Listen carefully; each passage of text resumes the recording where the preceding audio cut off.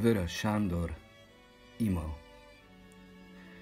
Köszöntelek a folyók zúgásával, a felhőarcú hegyekkel, a hegyforma fellegekkel, a gongalakú csillagokkal, köszöntelek a szivárványjal, az éj minden tüzével, és végül az ámulatos napragyogással.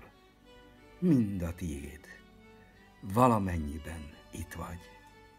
Akkor is, ha szenderegsz, és úgy is, ha leszállsz hozzánk váratlanul, s a teremtmények seregének megvilágítod újra meg újra kerek pajzsaidat, eleven mezőkön és rideg mérföldköveken heverőket, egyszerűségük örök titkában, nyíltságuk rejtelmében, miket állandó itt létük miatt oly könnyen, szüntelenül feledünk.